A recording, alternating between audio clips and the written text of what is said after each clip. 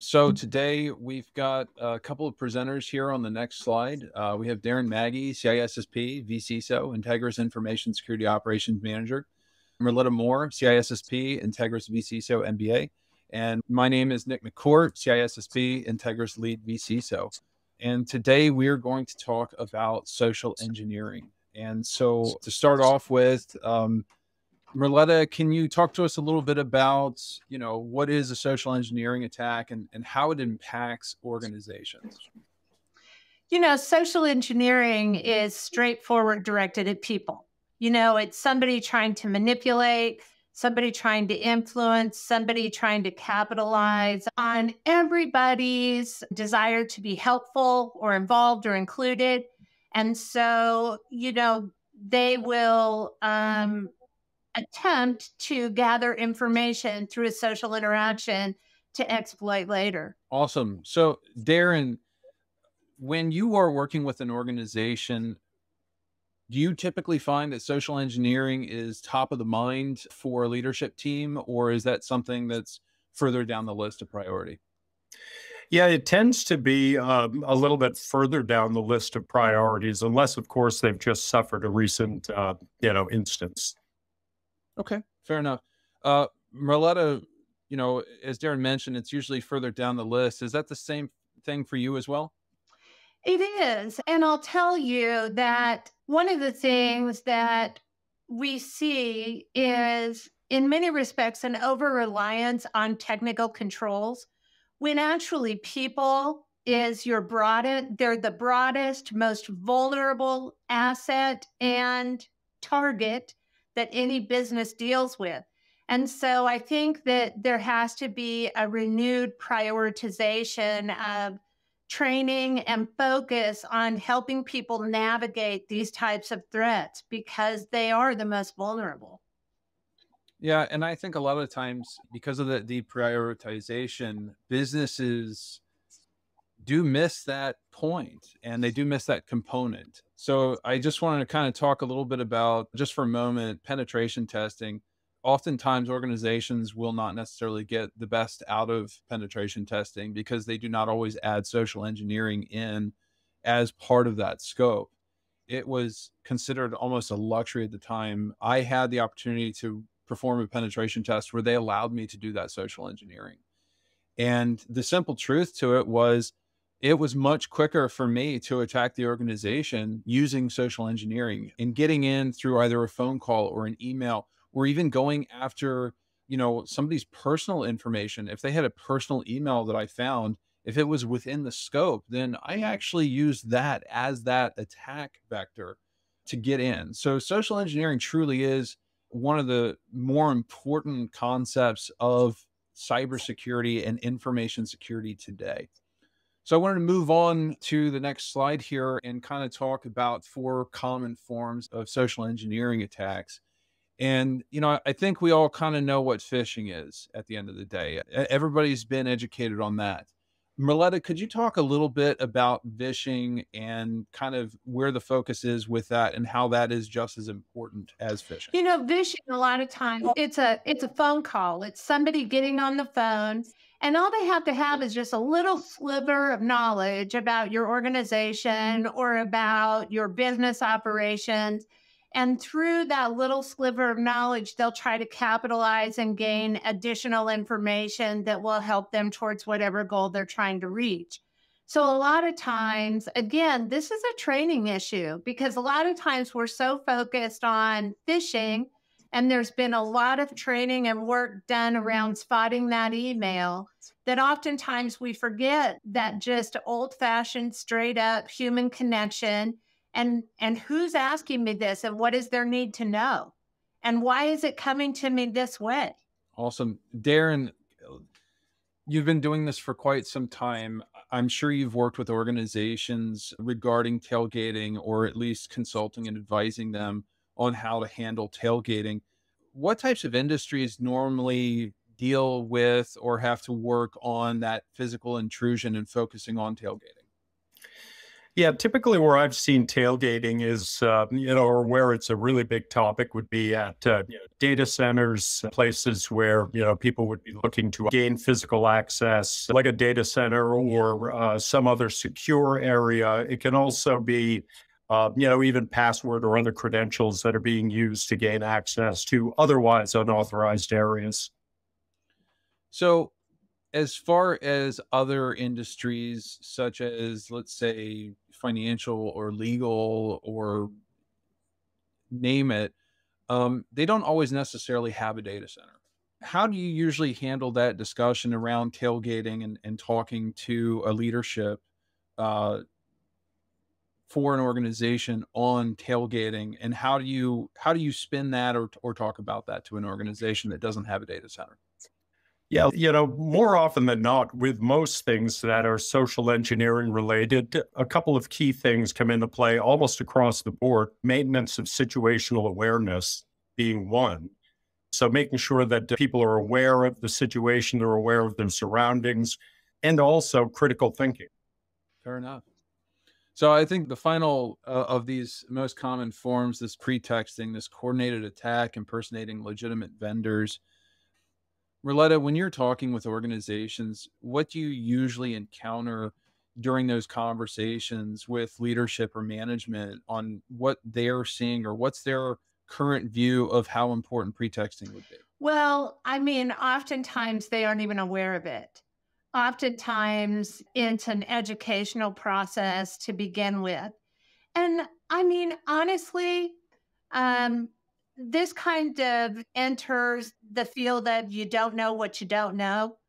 And so you have to, when working in these areas and talking to business leaders about them, you know, you have to kind of set the stage to help them expand their knowledge base and expand their thoughts about where threat comes from and how it's executed and different ways their organization needs to be protected because you were right when we started. Pretty much everybody knows what phishing is. I mean, we've spent a lot of time training about phishing, but these other forms of social engineering attacks are not as pervasive, they're not as well known. And so you really have to kind of step back and educate and help business leaders understand what they are, what the risk is, and the things we can do to help mitigate that risk. Love it. So, so kind of envision, if you will, on, on the pretexting, because I want to talk about the vendors a little bit more, but kind of a, a real life scenario where an attacker using a phone call, for example, um, or and and again, the vishing, the tailgating, these can actually both be pulled in. The, the phishing as well, obviously, but again, we know about that. But these other items, so so envision a situation where, um, you know, an organization receives a phone call, uh, and I think I think most people have watched How I Met Your Mother or or have at least heard of it. Um, if you've never heard of the show, and you know, that's okay. You know, I please tell me or leave a comment. I'd love to know what rock you're living under because I didn't even know about it for a few years, and then somebody made fun of me. So, How I Met Your Mother, there's a character. His name is Ted. Ted's a pretty heartwarming character, and you know, it's usually his voice in the background on that. So imagine somebody getting a phone call from a guy named Ted, and and Ted, Ted, that unassuming character, he's working for your IT provider, or he's working for uh, your healthcare provider um, for your employees. And so he calls up, and in this case, let's say he's IT. Uh, hey, I've been trying to have uh, trying to access one of the workstations up front. You know, we're having some problems with our system. Can somebody help me get in? And so instead of calling the front desk, maybe he calls the back office. Maybe he gets a hold of somebody that might have some form of authority. And so they go, Oh, oh, front office, you need to talk to the front office because they're busy, right? They're busy at the end of the day. Okay, you know what? I'll go ahead and send you to the front desk.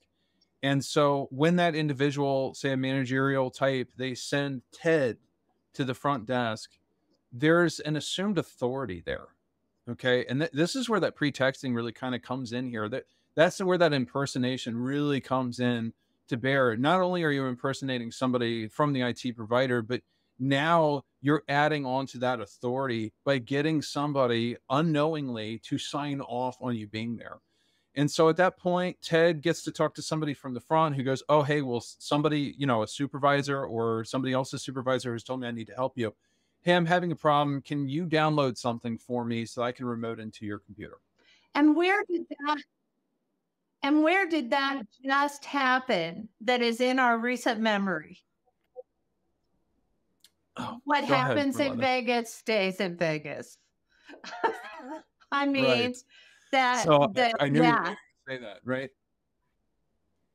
So, I mean, this is a, you know, this is a real life situation with this pretexting. And you have a combination, you have a combination of vishing, you have an impersonation going on. And interestingly enough, this person still doesn't have access, but they've gained enough authority to, I don't know, get access. And this can happen not this can happen not only, you know, virtually where you have somebody from anywhere in the world, you know, getting inside help unknowingly from an employee to download something, uh, you know, remote access, whatever. You can also have this in person where it's a phone call from, again, that Ted gu- character, you know, he's pretty friendly on the phone call to a center, for example. Hey, I'm on the way to deliver a computer. I'm on the on, I'm on the way to take a look at your router because there's an issue with your internet. There's a sudden sort of okay well we know you're on your way. Okay yeah i'll be there shortly. I'll have a computer that i'm holding. There it is so you have that impersonation and that allows you to do a whole bunch of different things on these other three items. And of course i didn't even talk about the phishing. I really mostly talked about vishing and tailgating Hey, Nick, you having experience with uh, like the penetration testing story that you were telling earlier. So, your experience with social engineering, what did you find were the two primary, say, emotional drivers, right? For a successful social engineering attack?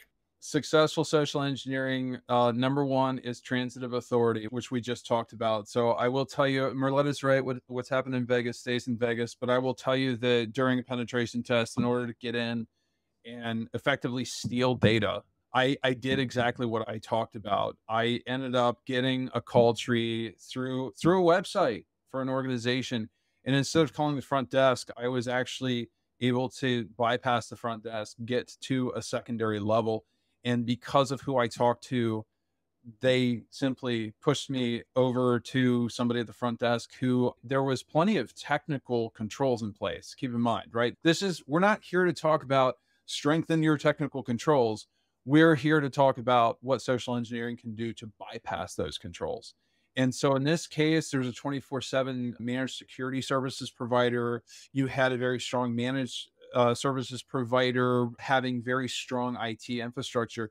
And at the end of the day, I was still able to get in by having a temporary remote access session from a validated application that wasn't blocked.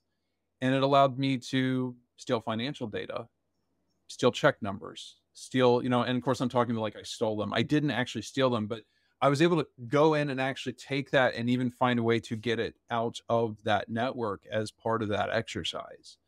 And it's not the only time I've done that. In fact, I've been made fun of before. Well, gee, Nick, whenever you do penetration testing, it's always the social engineering that you go for. Yeah, because it's easier. Okay. I already know you've got a firewall. You might have DNS filtering. You have uh, managed endpoint detection response. You have antivirus. You you have all of these things in place. But if I can get the right person at the right time, Because, as Merletta en- mentioned earlier, social engineering is essentially hacking the human mind. right, it is. And we're all so busy sometimes. I'm not here to say that our minds are feeble. It's just we're tired and exhausted. And so if somebody's here to, again, with transitive authority, that would be number one. Number two, and you know, most people would say that number two is fear. Can you strike fear? Or Um, urgency. It depends on the flavor of fear. So in this case, yes, or urgency. So so and thank you, Merletta. Thanks. I find urgency to be more of a multiplier of of the fear and greed. Yeah. So so Right. and you both stole my thunder. I was leading up to the urgency thing. So it's not really the fear, it's the urgency. So having a so making a phone call saying, "Hey, we're experiencing issues with your internet, for example. Can I take a look?" There's no true fear of, "Oh my gosh, you're being attacked." It's, "Oh, we might lose our internet." Well, we don't want to lose our internet. Come in, take a look at this.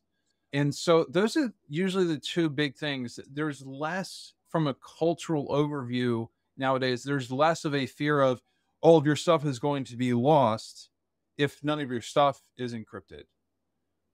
Now, if you get in and there's a ransomware attack, then then fear comes into play, and that would be that third element.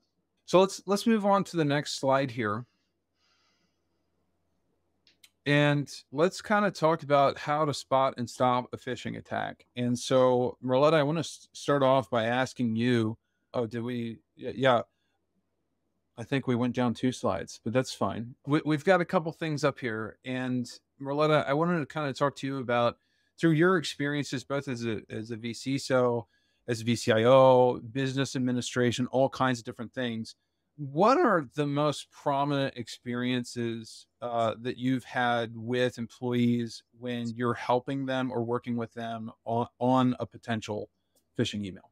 I think first of all, it depends on the company culture and it depends on what preparation the company's put in place. So, if you have a company that has a good program of security awareness training and they've invested in helping employees identify these types of risks, then you usually see employees identify and be able to sidestep these things and still report them so that we can manage them. Or you see, in some respects, kind of a culture of fear or dread. You know, oh my gosh, I didn't mean to. I didn't. And and so I think one of the things that you really have to recognize is that these things are going to happen. There is no deterrent. There is no control. There is nothing that we can put in place that will absolutely stop or eliminate completely the possibility of these things happening. So, the best thing that we can do is have a culture of education and awareness that helps employees identify and be aware of what's going on around them because it's always easier to deal with something on the front end than it is on the back end if we can empower people so it doesn't get further down the road, then we're going to be in much better shape. Love it. So, so Darren, did you have anything additional to add to that, or some extra areas that you'd like to expound upon? Well, I totally agree with you know Merletta. We know that you know when it comes to human beings, that ultimately uh, and it doesn't have to be malicious, right? But we know that human error is inevitable. So we actually have to plan for that uh, as if it was part of our architecture.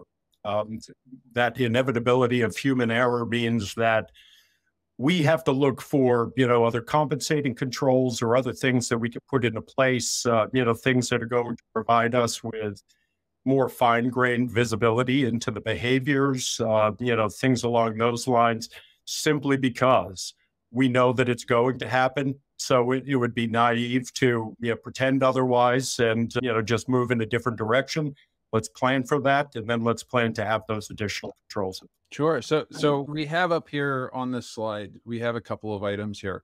And I, you know, we'll start with the first one. Take a breath, right? You've just received an email. Take a breath. I, I don't care if it has the name of somebody that you work with every single day. Take a breath, right? And that first question is Are you expecting this email?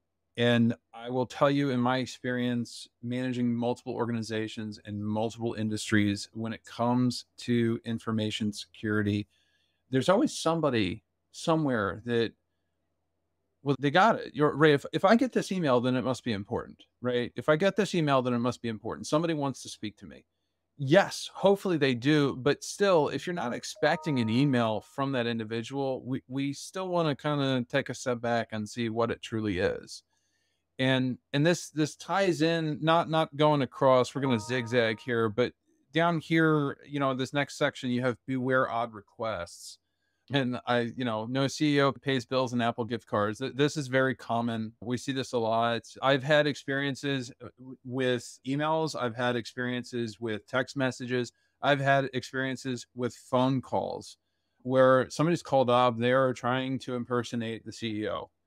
and they want Google Play Store, they want Apple gift cards, they want an Amazon gift card. What am I missing here? Frozen yogurt gift card. What else?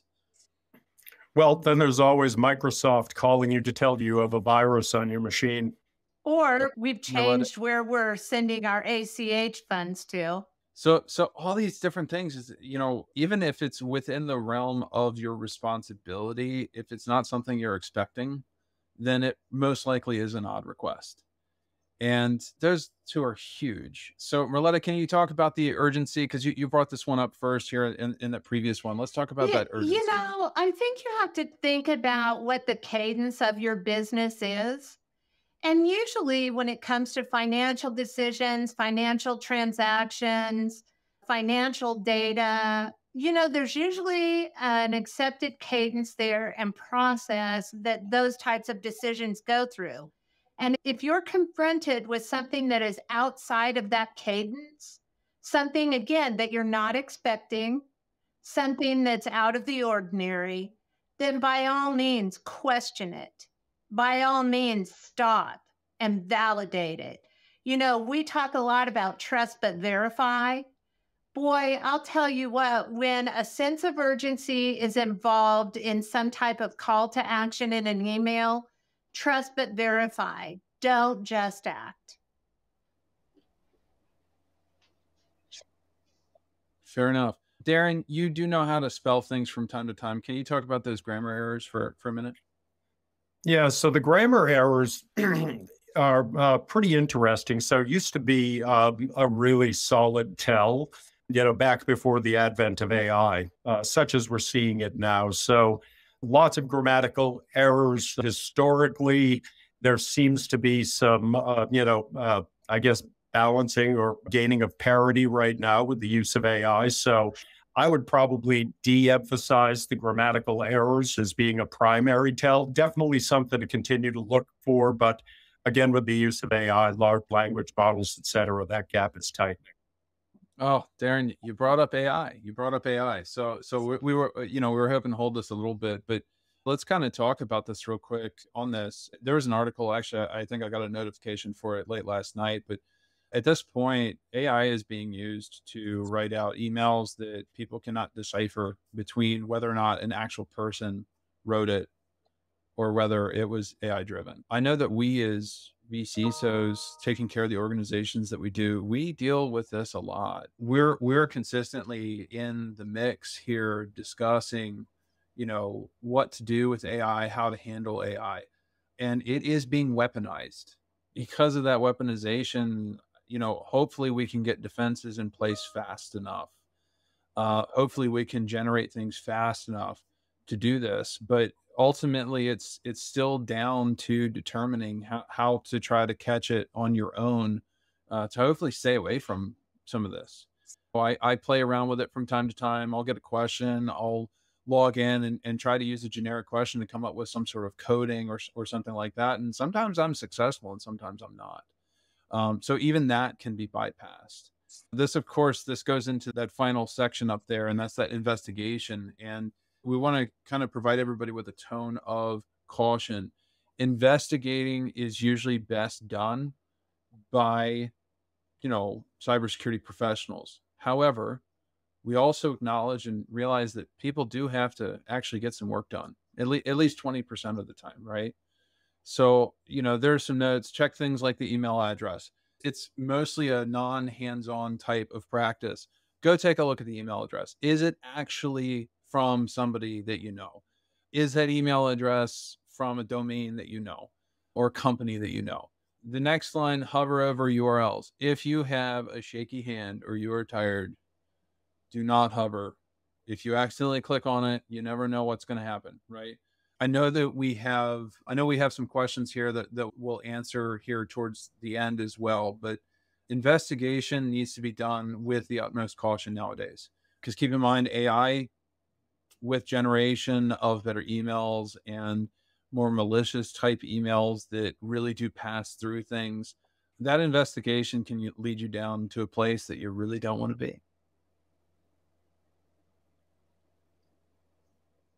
Okay, so thank you. Advice for organizations. Darren, talk to us about governance. Yeah, so governance um, absolutely required in this instance. If we're going to have expectation of what our employees, you know, should be doing or should not be doing, then we have to be very clear in articulating that to them. One of the best ways to do that is to convey those expectations via policy. Once the policy is acknowledged by employees, governance is typically established. So it's a really good place to start, right? Lay out those expectations, let people know exactly how you know any you know breaches or you know running awry of the policy will be handled and then you go into monitoring and maintenance mode Merletta, you want to pick the next one you want to talk about? This is kind of a purpose driven conversation for me because being of a certain age, you know, back when I started in this industry, the IT department kind of sat in the back of the building. You were lucky if you had a closet. And, uh, you know, the information systems and the technology were interesting, but not pervasive. And now information systems and technology are pervasive in everything we do. They touch everything they do, everything we do. And so this is a very intentional decision. This is a very intentional process. And this is a strategic decision about business operations that businesses have to prioritize and address. And so even though you may not be a technology company, my question to many of my clients is often if I go in and I shut down your server, how, how long can you operate? If I go in and I remove access to your internet, how long can you continue doing mm-hmm. business? And for some businesses, it's longer than others, but for all businesses I work with right now, it's not too long. And so we have to reprioritize our information systems, how we manage them, how we protect them, mm-hmm. so that they understand that prioritization as well. No argument. Um, so, actually, Darren, I know you're kind of talking about the governance, but the adherence starts at the top thing. Can, can you tell us a little bit about your experiences and how you advise leadership teams on this practice? Yeah, the the example always has to be set at the top. Always, always. Uh, and it's something that we run into oftentimes. Uh, you know, people at a board level would need to be, you know, reminded that they should uh, be redoubling their efforts, uh, no matter what it is, whether it's uh, you know BYOD or any of the other areas of security that they would be participating in, security awareness training, what have you. The people at the top are really going to be setting the tone. They need to remember that you know the employees are watching, and those folks need to be the primary evangelists of the security program overall. There is a direct relationship between convenience and security. They are absolute counterweights. And so when you move one up, the other moves down. When you move them up, they move in concert. And so oftentimes at the executive level, you see convenience winning out over security. And that's really one area that, as a CISO, we need to address because your executive team is by far the most targeted group of employees in the company. And so it's really important for the executive management team to understand their own vulnerability and how that impacts the company and the level of risk. Absolutely. And you know what, Merletta, something else that this reminds me of is the adage that we try to impart with our clients often, which is letting our clients know that security isn't a technical problem, right? And, and, social engineering is a great example of that. So let me talk a little bit about what regular security awareness training is, because you know I, I figured I'd, I'd, let the other two kind of talk about the more fun, exciting things, and, and we have one more fun and exciting thing here. But regular security eh, security awareness training, I always get the same response. Oh, how regular is regular? What do I really have to do? So there are a couple of components to regular security awareness training. So the first thing I'm going to talk about simply is cyber liability insurance. if your organization wants to protect its data and information, because as as Merletta mentioned, if, if you turn off the server, if you disconnect Office 365, can you do anything? Right. So at some point, the you know the processes of an organization, no matter what their industry is, if that data is important, then you probably have to have cyber liability insurance. And guess what? Cyber liability insurance, they want you to have regular security awareness training. Not only do they want you to have regular security awareness training, they also have a second line where they ask, Do you have regular phishing simulation? And so, um, you know, Darren mentioned always, right? And of course, we have a line here underneath regular security awareness training. Repetition leads to retention. It, it's very true, right? So, so what is that repetition? What is what successfully allows you to maintain cyber liability insurance? What successfully allows you to meet regulatory requirements?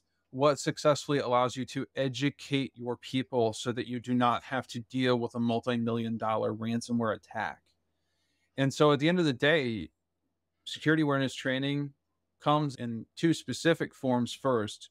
One, um, if you want to do it, you want to do it monthly and you want people viewing videos. Yeah, those videos or having meetings.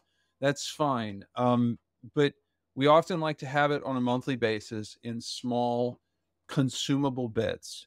A five minute video where you can sit down, go through that video talking about a specific item and then you can return to what you're doing. The other part or the other component about this regular security awareness training is phishing simulation itself. Phishing simulation is educational. I was actually in a meeting earlier today where we were having conversation and one of the things that I said was I like to utilize security awareness training platforms for both the video and educational content but also for the phishing simulation because the phishing simulation allows me to safely expose employees to potential attacks that they will encounter out in the wild. Out in the wild does not necessarily mean here at work behind my business email. It means my personal email, my Gmail account, my yahoo.com, my if we still have AOL, right? Whatever your email address is, if you've got a personal one, that is an attack vector on you personally, or it's an attack vector on the organization that you're part of. And so that email does not necessarily have some of the filtering that your organization may already have or that is provided by your managed IT service provider. You may not have content filtering in place. You may not have those things in place for your Gmail. Now, don't get me wrong, Google's doing their best, right? They've been adding things, they continue to block and help protect. You you see the same thing with all these other companies out there. We can talk about Apple, we can talk about Google, we can talk about Microsoft but at the end of the day, that may not necessarily be as strong as what your organization has. It may not be as layered. And so, this regular security awareness training once a month or sprinkled across, you may have two phishing simulation campaigns and one security awareness training video every month. That sort of practice does lead to retention. It helps protect the organization. It also helps protect the employees themselves. And so, huge component then is to actually build and structure that up. And, you know, something as simple as cyber liability insurance, I know it's not simple anymore, but it used to be. They want you to have it on a monthly basis, they want you to have it consistently. So it becomes very easy to, as an organization, to choose to do that to help protect yourselves. So, Merletta, security is an investment. Can you talk a little bit about different components of how security becomes an investment for an well, organization? For any of the business mm. leaders on the webinar, let's just be honest. Let's just call a spade a spade. Security is an expense. Let's just be honest about it. And we can sit back and we could say, well, there's an intrinsic value in all of this. Oh, okay, but it's an expense. Here's the thing though. In, in the market today, it is a differentiator. And if you don't have it, it's a d- detractor. And so, even though we may not be able to apply a standard ROI equation to your investment in security, there's a reputational benefit to having a strong security program in place. And there is a reputational risk to not having it in place. So if you want to have cyber insurance, and let's talk about that, by the way, because how sustainable is cyber insurance? Those questionnaires you're getting, those surveys that you're getting are meant to exclude. The insurance company's actuarial data is telling them this is not a sustainable product. And mm-hmm. so, you know, your ability mm-hmm. to properly articulate your intentional security mm-hmm. platform and how it's executed and how it's implemented mm-hmm. is in this market, in this time in business, it is a differentiator, but it is an expense. Let's not joke. Darren, did you want to either add on or dispute that? No, uh, I mean security is obviously an enabler. I mean having you know having good security in the 21st century is really just viewed as being responsible.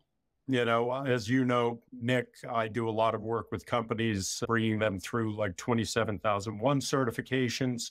That is very much viewed by them as uh, an investment in their security as well as providing additional opportunities for the organization. So they would use, uh, you know, that certification to be able to curry new business. So yeah, absolutely. Uh, security is an investment. It's something you have to keep your eyes on.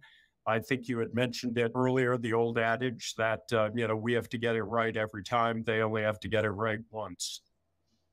Mm. So, so I, I do want to say, so Merletta, I agree with you. Yes, security is an expense. I will also say that security, in my my experience, security is a moneymaker, right? Yeah, sure, you got to have the expense. I, I, agree with that, but you know, security, and and this is where security, it, specifically information security, it starts to separate from IT a little bit here.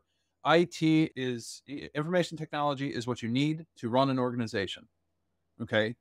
Unless you do basket weaving and you drive the baskets into somebody else and they pay you in cash, right? Then then maybe you don't need technology from an IT standpoint. But uh, and and I love baskets, so this was not against basket weavers. So if anybody hears basket weaver, not nothing against you. But keep in mind that for many industries, at the end of the day, information security, how you position your information security program, how you position what you're doing for your security awareness training, and how you are dealing with social engineering. As mentioned earlier, it is reputational but it also allows organizations to go after more business.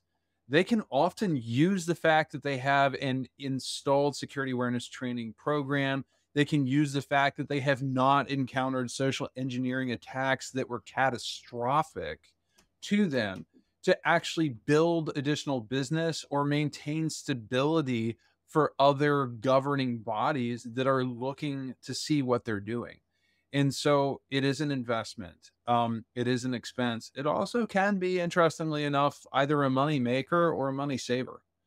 And so, uh, and back to that cyber liability insurance, if you're able to actually perform regular things uh, around security awareness training, you may not have an increase to your uh, insurance premium of 25%. It might be something as low as six or 7%, which would essentially be a cost of living adjustment and not necessarily a fine because you are showing additional risk. And so I did want to kind of jump on that real quick and talk about that. Did you guys have anything you want to add on I, before we I go do on to the think next the business leaders need to understand that it is in this day and age a cost of doing business. It, I mean, it just is. If you have information systems, it is a cost of doing business. Fair enough. Okay, so the numbers, right? The the, the fun stuff. We're, we're going to zip through this real quick because I, I do want to give us time for questions here. Um, but I did want to highlight all all of these are from different organizations. Okay. Um, so average organization is targeted by 700 plus social engineering attacks annually. This goes back to that conversation on, hey, we've got all these security layers in place and I had a question earlier today. Well, well, are we doing anything to block these phishing attempts? We had a director of IT on the call, and he goes, "You bet. Here's the spam filter. Here's the content filtering. Here are all these hmm. other things." But keep in mind that even with all that stuff in place, wow, look at how many social engineering attacks might hit you. And it does not matter the size of the organization.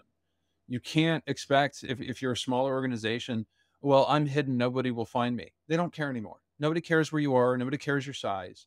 If there's a way to get in, they will. You know, if you have a cyber policy that covers you for a million dollars with 15 to 30 minutes of work, you can have a social engineering attack that will target you for $999,000 to keep you right underneath that. And that's what I think that's part of what we have to stress is this isn't some 30 year old misfit sitting in his mother's basement. These are state sponsored, Dun and Bradstreet investigating, um, focused on the small and mid-sized business market because it's a target rich environment. And so for me, and I'm in the Midwest often says, you know, we're just in the Midwest, we're just a small company. Nobody cares about us. Trust me, they care. Because in 15 minutes, they can turn around some pretty significant money. It's a good payday. So, you know, at the same time, Merletta, it's also important to remember that we have very motivated 12 year olds out there with the internet connections, right? You know, and these people can get online. They can download password crackers. Uh, you know, you could get ransomware as a service. I mean, these things have been packaged up. So we really need to, you know, make sure that our heads and our clients' heads are constantly on a swivel. So, Darren, I know we're close to Halloween. Are you saying Chucky was really actually more likely to be a hacker? Is that where we're going? I'm going? thinking maybe. I'm thinking maybe. He has a look in his eyes. That's fair. That's fair. I like that. Okay. Okay. So, so, um, going over these next items here too. Social engineering attacks cost companies one hundred thirty thousand dollars on average without a data breach. That number is just going to continue to go up, right? It's, yes. It, it continues to go up men are 225% more likely to fall for social engineering attacks than women. I know. Typo. Typo. That's total typo. Oh, oh, it is. Okay. I mean, I got a link to join this this uh, this call, so I I mean, I, I would say I'm a victim. Uh, no, no, no. I'm, I'm I'm kidding. So, and then 86% of companies, at least one person has clicked a phishing link. That's very true. At least one person. It's usually more in my experience. Darren, your experience uh, working with organizations is it usually more than one? How, how what what would you say is an average on through your experience? At least one for sure, but it definitely uh, you know depends. Really, depending on the environment, right? So, I mean, I've seen some locations where a single phishing campaign will yield you know five, ten results, you know, in terms of detonations I've seen other locations that were twice the size of the previous where absolutely no detonations come back. Fair enough. Merletta, how, how about you? What, oh, what let's be honest. We've all fallen for it. Let's be honest. Come on now. you know, whether it was years ago or not so long ago, I mean, you know, everybody gets distracted. Everybody sees that hey, check on your package that's being delivered by UPS when you don't even have a UPS account or you're not even expecting a package. Come on, we've all fallen for it. And many of us are still waiting on a delivery from the Prince of Nigeria, who was supposed to I send keep us a telling yacht, you, right? Nick, it's mean, not so coming. We, we know. Just got an email from him this morning.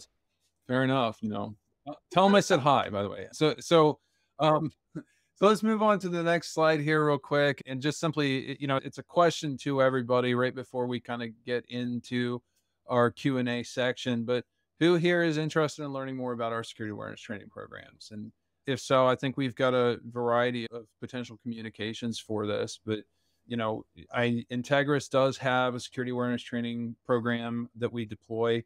It's phishing simulation, secure, digital security awareness training, uh, phishing reporting buttons, so that if you're not so sure, then you can click and send it away to have it at least go through a system to be checked to see if it's malicious. So, and I think Carl just posted, hey, if you're interested, if you're interested in this, let us know here in the chat. And for any reason, if the chat's not working, uh, I'm sure Carl will post his social security number and all of his home details here in a minute to for you to communicate with him directly. Thanks, Carl. I appreciate that. Let's move on to the Q&A. All right, I'm going to come back for this one. And Nick, I've got that social security number written down here, and I'm going to email it to you over an unencrypted channel as soon as we're done. I'm going to CC everybody to register. Absolutely. Everybody that's here on the webinar, I'm going to CC them. So the first question we've got here is Trish from Lambertville, New Jersey. We get a lot of spam and junk on our mobile devices through Verizon Wireless.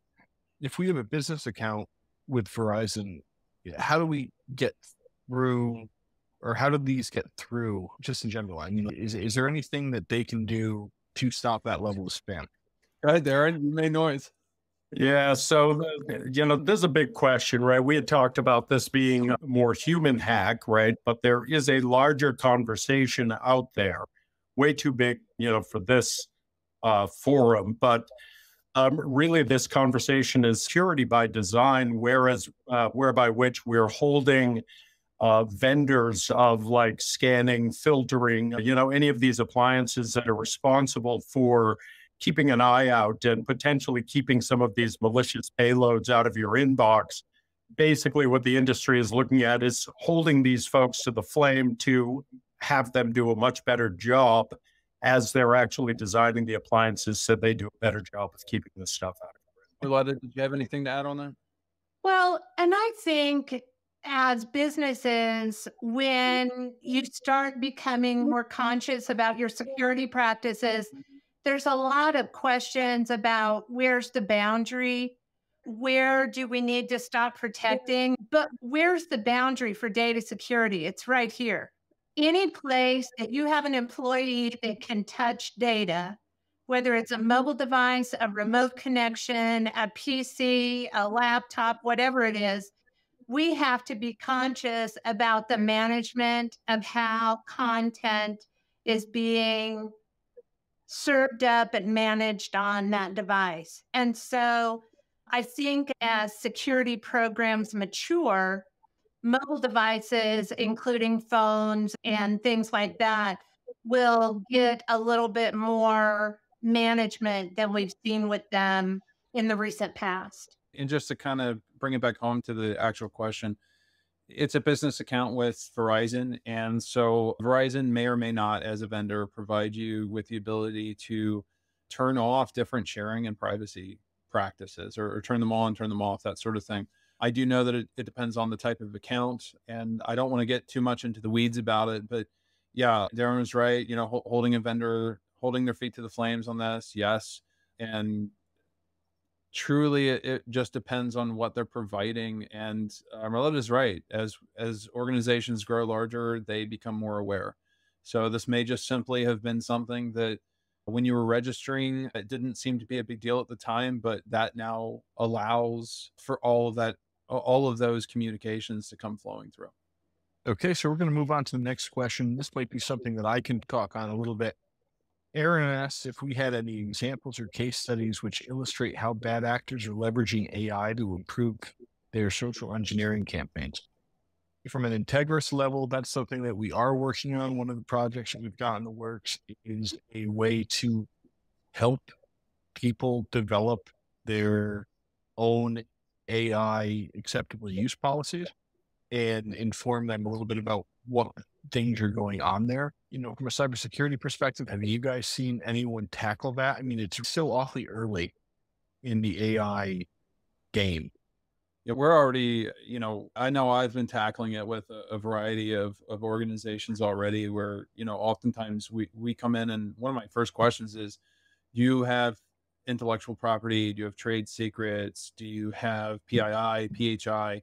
How is that data you know how are you leveraging ai within the environment? So so before we even talk about whether or not a bad actor uh, is is involved it's how is your organization using it? And keep in mind that if you're using chat gpt you enter data in there it, it now technically becomes public knowledge. And so there is there's a word of caution on this where if you want to use it have a policy on how to use it and what to use it for. But keep in mind that, you know, we may have to still block this off, even as this is a new technology that can move multiple industries forward. You have to do it safely.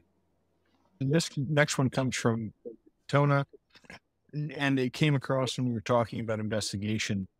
Uh, she commented about the email she got regarding this webinar from our provider, StreamYard, and how that looked potentially suspicious. Um, is there anything else you guys want to talk about in regards to investigating, or are there any tools that can be used to help people validate if they're scared to investigate themselves? other than uh, you know hovering doing uh, some of the tests the examination tests that we've talked about i've also used VirusTotal. i don't know if anybody's had any experience with that but VirusTotal at virustotal.com you can also use that to potentially detonate payloads and take a deeper look at some of the things that you're receiving. Keep in mind that our security awareness training platform has a phishing button on it that will, you know, that that's a tool to use for that. Well, and also going back to were you expecting an email for a webinar? If you filled out the form that you wanted to go to the webinar, then you were expecting an email to sign up for the webinar. So always just go back to was I expecting this? I'm not expecting this. I'm going to get rid of it. I'm going to report it. So Kelly asks, is there any way to prevent spoofing?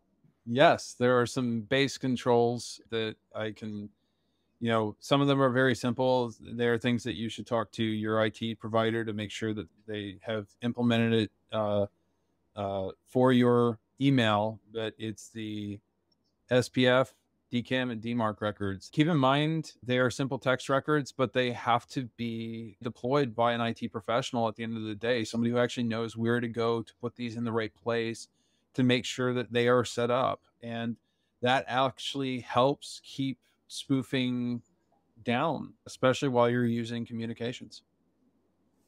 Okay. So Trish has another question for us here. What happens when you click on a link in a phishing email, and she she references an iPhone or an Android phone, but I, I think that could probably cover anywhere. You know, what is the process? What happens? It really depends. you know, you could, if you're clicking on a link, you could be delivered to a malicious website, have something served to you there. If it's an attachment, you could click on the attachment. Maybe you don't even see anything taking place, uh, you know, but oftentimes there's lots of things that are going on in the background. But it really depends on the, you know, attack type, what it is that they're looking for overall. I have seen in my base an awful lot of, uh, you know, prompt bombing or notification bombing, because people are looking to, you know, bypass multi-factor authentication. Uh, so that's like a variation of, you know, the phishing attack. So it really does depend on what they're looking for in the end. Okay. Another question from Trish regarding an AOL email that has somehow linked to a company email account. And as a result, they're getting a load of spamming and phishing emails. And is there any way to limit that? I would disconnect the AOL account. Um, for, I would never use a personal email account and, and connect it to a professional email account these days. I know that this used to be more of a standard practice, but nowadays I will tell you AOL filtering is just it's not that great. Um, they've they've made adjustments, they have made improvements. Uh, to me, though, at the, at the end of the day, it, it's not uh, as successful at stopping things as you know what you would have for a professional email solution. And that's not necessarily to talk about AOL as being bad. It's still a personal email account. So it's not necessarily going to have all of those things. Okay, this question is from Jennifer. It's in regard to the security awareness training. Are the training programs scaled to match the industry and size of the business? Yeah. Um, yes. Yeah, they, they, they definitely are. can um, be. Usually, um, when the training is set up, there's a base uh, cyber principles or elements that mm-hmm. we try to get to everyone. But there are also modules that are specific to industries. I have a client that we just added, they're involved in public education. So we added FERPA modules. And so we can definitely add things that are specific to your vertical. We got another question from Aaron here Can you explain the impact of breaches to marketing data aggregators like the 2018 Exactis breach and what we can do to keep our information out of these databases? I think I think I understand what, what's being asked. Uh, keep keep in mind that if your data has been collected by another organization and that organization is impacted or suffers some sort of uh, ransomware or data security incident that becomes a verified breach, uh, if your data is there, it's out. And I, I see there's a follow up. What happens when job titles and names are exposed? Yeah. Once your data is out there, your data is out there. It, so it's very important. And this is not necessarily social engineering, but this is very much about, you know, reviewing different organizations that you may work with, reviewing your vendors, vendor risk management probably could be its own, maybe even a web series at this point. But those impacts wherever you have data at this point, if that organization has your data and they suffer something, then your data may be out. You, you know, Aaron, this is kind of a cart before the horse question. And this is a place where Europe kind of did a better job than we did in America because we very much rushed to get technology out there, but we didn't really address data privacy very much. We were so excited about the technology being out there that we didn't really in the beginning think through the implications of privacy and people's data and how it's managed and things like that. And in Europe, they do a little bit better job of that than we do. So I think in the United States, we have some catching up to do in the area of data privacy. And what we're seeing out in the market right now is we have individual states bringing individual privacy regulation and it's going to mm. be a situation where nobody can fully comply because it's so nuanced. And so I think we're going through that evolution where we often go through in the United States, where we're having kind of a nuanced approach to data privacy, but we're going to at some point have to see some type of overriding regulation to make sure that we can mm. address data privacy correctly. But right now, it's a little difficult in the United States. Okay. Well, I wanted to uh, let everybody know Darren had a hard stop at two. So that probably is a good sign that it's time for us to wrap things up. I want to thank everybody for participating. Nick, Merletta, great job. You know, we're looking to do more of these. So we'll keep everybody in the loop and we'll be back. So the floor is yours to, to say your goodbyes. Thank you, everybody. Thanks for coming to our webinar. And, um, you know, if there's anything we can do, you can contact your local office or send an email. We'll be glad to answer any questions you have. Thanks, everybody. Have a good one. See ya. Take care.